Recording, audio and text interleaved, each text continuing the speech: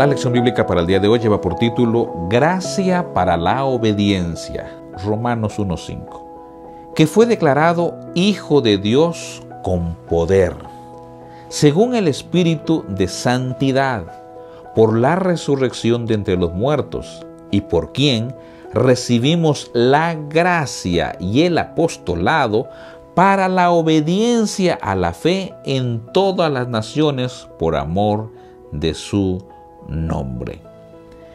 En el contexto de la falsa adoración o la falsa iglesia o el falso sistema de adoración que se encuentra en Apocalipsis, la mujer escarlata y púrpura montada sobre la bestia cubierta de escarlata ha hecho circular, dice, su copa de vino y el mundo está embriagado con las falsas doctrinas de Babilonia.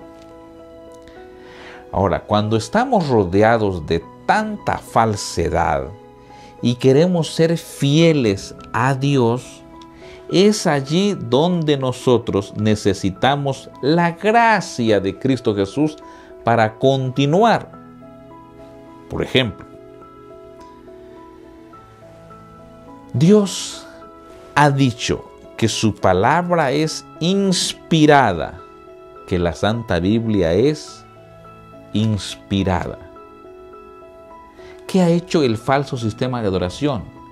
Ha dicho que la tradición humana aún está por encima de la Santa Biblia. Eso es falso. Dios ha dado un día de reposo, según la Biblia, séptimo día de la semana, sábado, para adorarlo. El falso sistema de adoración ha dicho primer día de la semana. Es decir, otro día que la Biblia no menciona. Y podemos seguir con las falsas doctrinas.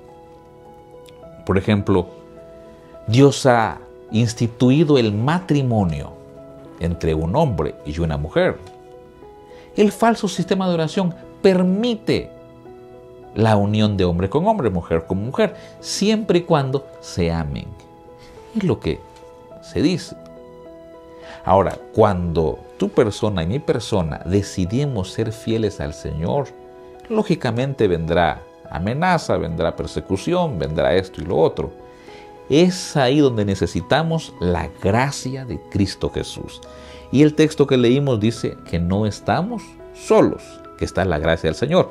Por eso Apocalipsis 18, 4 y 5 dice, oí otra voz del cielo que decía, salí de ella, pueblo mío, para que no seáis partícipes de sus pecados, ni recibáis parte de sus plagas, porque sus pecados han llegado hasta el cielo, y Dios se ha acordado de sus maldades. Hay un llamado para nosotros. El llamado es, no participen de sus pecados. ¿Y qué es pecado?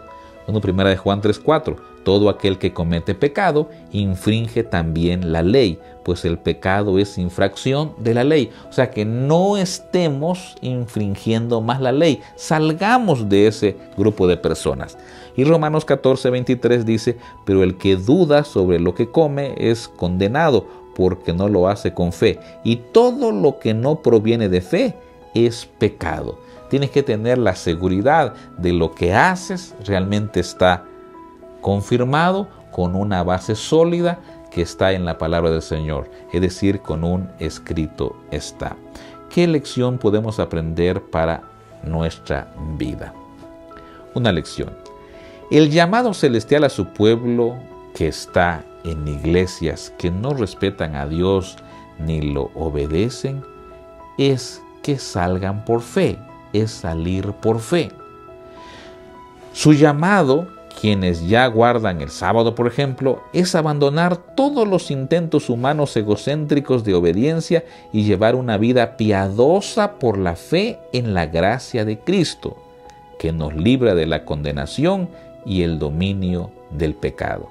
Y así como la fidelidad de Israel a la ley del Señor, según Deuteronomio 4:6, habría sido un testimonio poderoso para el mundo, nuestra fidelidad también puede ser un testimonio poderoso que ayude a guiar a la gente a salir de Babilonia. Que Dios te bendiga.